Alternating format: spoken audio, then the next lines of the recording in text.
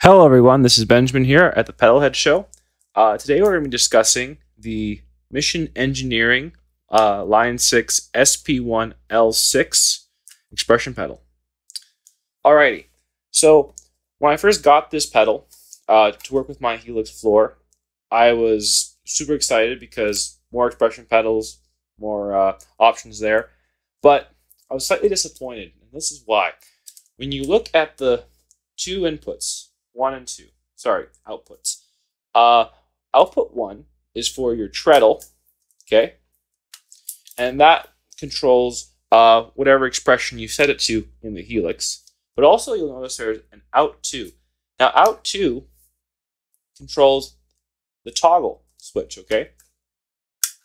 So what's kind of a bummer is that Line 6 and Mission Engineering uh, brought out uh, two of the uh, expression pedals, the SP1L6 that I have right here with the two outputs, and an EP1L6 that only has a single uh, one out, okay, for the for the treadle and has no toggle. Why is that? Because the Helix floor and Helix LT and Stomp don't have expression toggle inputs. So this number two doesn't work with the floor or the LT. It only works with the rack. So you know, feeling pretty bummed out about this. I did my researching, and there actually is a mod you can do to this classic Crybaby uh, pedal and make it so that it will work with the Helix floor. Um, I'm not too sure about the Helix LT. I think it has less uh, expression inputs. So how it works is you're going to do the mod um, and then plug from output 2 into expression 3 on your helix floor. And then all of a sudden, your expression three on your helix will be like a toggle input that's on the helix rack. Okay, so I am, I'm going to show you the videos of me doing the mod, putting it together. Uh, put the sticker on there just so I know the difference between which one's mod and which one's not. Um, yeah, so let's go with that. Hey guys, Benjamin here from the Pedalhead Show. So Showing you here today, we got the Mission SP1L6 Helix expression pedal. All right, this one has two outs. One out that uh, responds the throttle, and then one that responds with the switch. Now the switch built into this pedal only works with the Helix rack. So if you want to use this uh, stock uh, with a Helix rack, you can. But if you want to use this with the Helix floor, you can't use this because this is a uh, double pull, double throw, non-latching. Okay, we need a latching okay, one. So the parts you need, I got here a Dunlop single pull, double throw, or a double pull, double throw. This one's double. Whoopsie double pull, double throw by Dunlop. Okay. All right. And it, it it's latching. So basically the same part you'd have for a, uh, a crybaby switch. Two resistors, a 10K resistor, a quarter uh, watt or two watt, doesn't really matter. Uh, this is a two watt and a hundred ohm uh, resistor uh, as well. Okay. And then I also got an output jack just in case, but I'll probably be able to use the output jack already built in. So first thing we're to do is pop the bottom plate off of this guy and roll from there.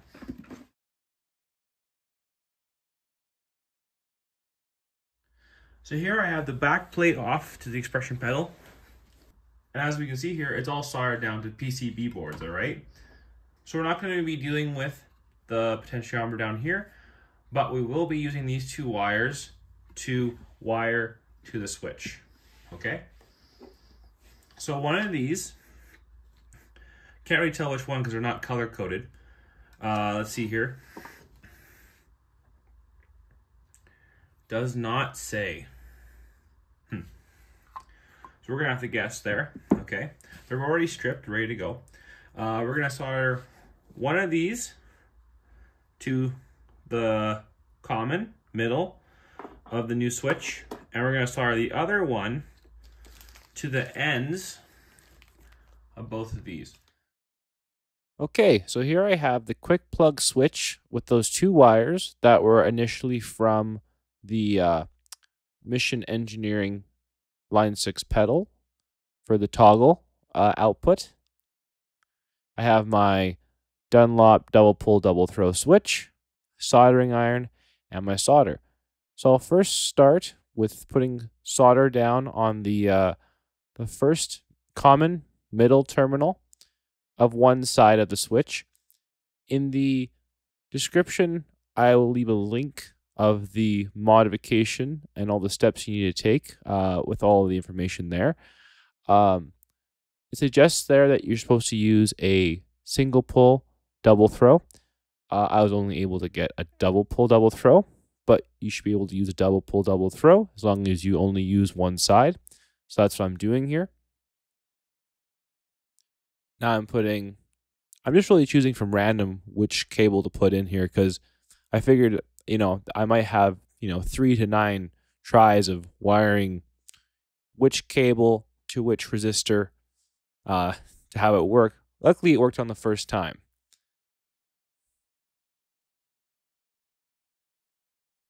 Since you're not dealing with audio, I'm not too sure how much of a difference it makes. So, so there I have one of the wires soldered to the middle common terminal.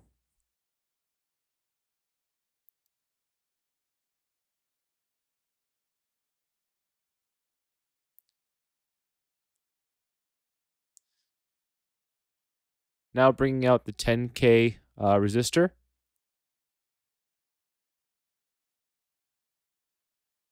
Both of the resistors look the same. Um, so I took a piece of uh, black electrical tape and covered the resistor uh, that was 10K, so I knew which one was which. Now it states that you're supposed to put the 10K uh, ohm resistor on the normally closed terminal. I just chose right because it felt right, you know? Like I said, I was totally guessing at this point.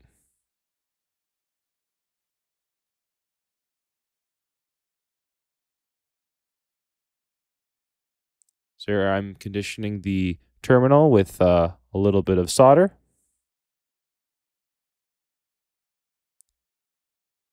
Then re reheating up the solder and placing the resistor in there.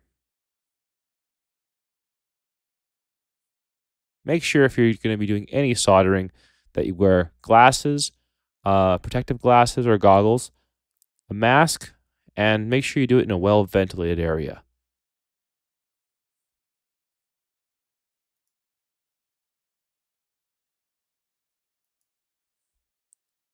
There we go. And then I'm just moving the solder around a little bit to make sure it's all there and connected well. I'm not going to budge. I usually like to set my soldering iron for around 350 from outside and I'm not doing potentiometers, I might put it for 375 to 400. Just make sure to be careful when you're uh, dealing with hot elements. And here I'm adding more solder. Couldn't be more reassuring to add more solder.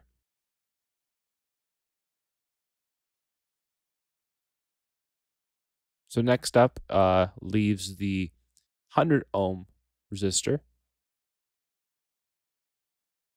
And on the forum instructions, it says to put the 100 ohm resistor to the normally open terminal. I guess I just put it to the left because I put the 10K to the right.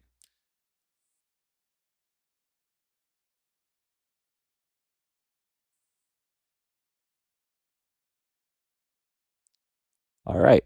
And now, as we can see here, I'm placing the two ends of both resistors together and giving them um, a good sturdy twist and placing them in a place where they won't come undone from the terminal. Not likely that they would. Now, this was the trickiest part, was getting this other wire somehow either on top or between. Personally, this is my favorite thing uh, to do when I'm soldering is putting cables together. Uh, but a little solder, and as long as they're touching, it works.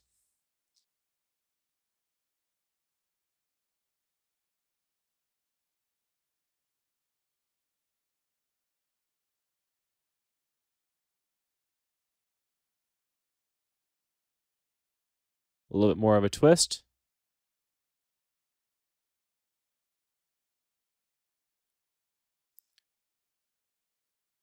Eureka!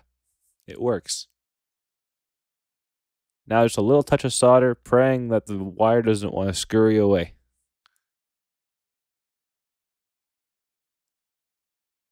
Alrighty, so there we have the common wired to uh, one of the wires. We have the 100K uh, resistor on the right of the common, and we have the 100 ohm resistor to the left of the common.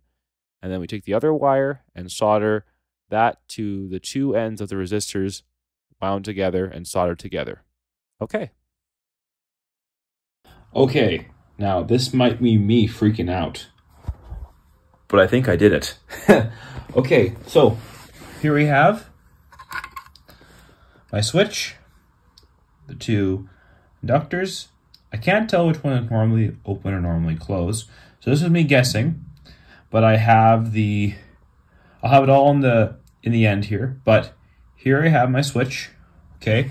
I have the switch plug going to expression pedal, I can't really see it, but expression pedal three, okay? So then I go to my wah, all right?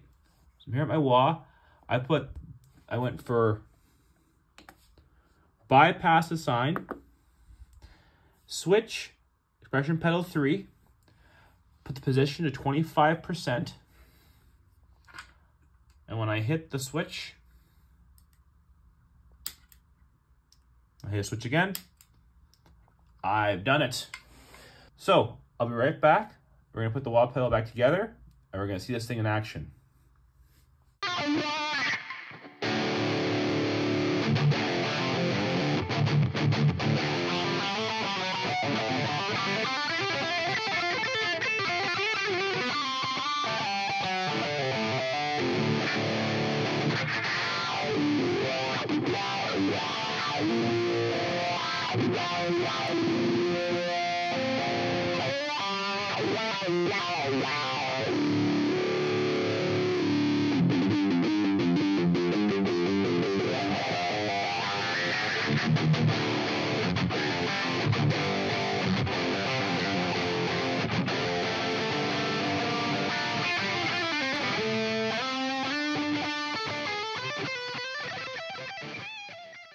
Okay, here we are now looking at my uh, Helix floor. I got Helix uh, HX Edit up there up now. Uh, so with the one expression pedal uh, with the new uh, double pull, double throw switch mod to control the bypass of the uh, wah pedal or whatever you want to put on the expression pedal. But let's be honest, th this is in order to make the expression pedal work as a normal crybaby should, where you hit the toggle and it turns on. Um, before that, I would have a uh, system where I turn the bypass for the wah pedal or whatever um, expression I was using for 0% of where the throttle was positioned. And then as soon as I let go of 100%, I'd go up and I'd be able to use whatever um, wah or whammy or whatever. And then when I brought it back down, it would turn off. Now this worked uh, well, but you know that's I'm I'm not used to um, a Morley wah or uh, or anything like that. I'm I'm used to a crybaby as most people are, or a Vox uh, wah pedal, which properly has the toggle at the toe position, not the heel position. All right. So now if we look at HX Edit here, As you see here, I have the position set for expression pedal 2 because plug number 1 on the expression pedal is plugged into expression pedal 2 input. Then I have the bypass is set for 5% or whatever. I'll just leave it there for 5% seems fine to me because it's working. And I have that set to expression pedal 3, okay? So now, this means two things. This means now I can finally use uh, my expression pedal like a crybaby.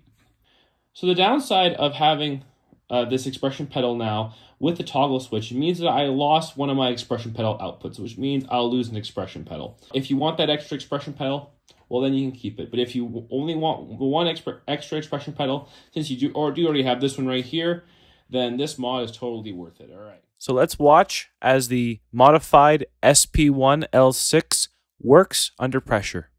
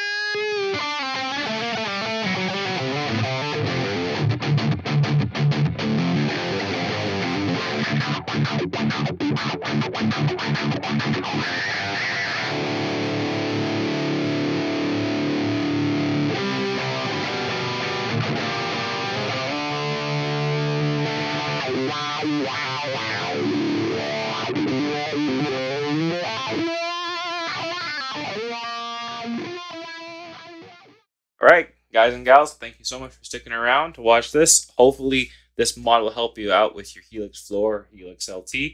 Uh, you've been great. I've been Benny G. Please like and subscribe. And uh, in the comments below, leave me your favorite uses of an expression pedal. Do you like controlling the delay time? Do you like uh, tremolo effects? Do you like using wah? If so, what's your favorite wah on the Helix? You know, in a future video, we'll be discussing uh, the differences between a real Fasel inductor wah with a boost compared to a couple of the awesome uh, wah pedals that are in the Helix. And yeah, this should be a great video. Thanks so much for watching. Take care.